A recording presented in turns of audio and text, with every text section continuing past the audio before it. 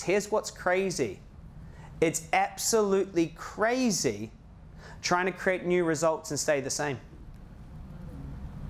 True? Isn't that crazy? Trying to create new results but staying the same. I want to stay the same. I want to have the same beliefs, the same friends, the same this, the same thoughts, the same emotions. I want to have all this the same, but I want new results, please. I just want to, but I want to stay the same. Here's why you're in direct conflict with it.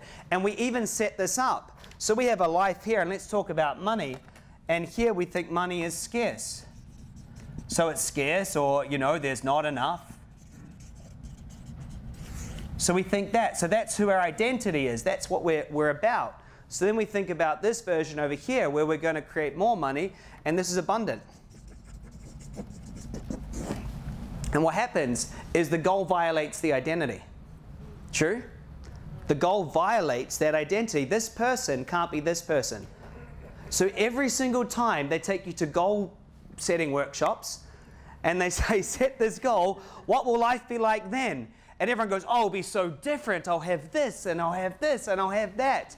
Do you know what the ego hears? I would I have to die for it to get there. You're never getting that. I'll say it again. When you go and do that, everything's going to be different and amazing and beautiful.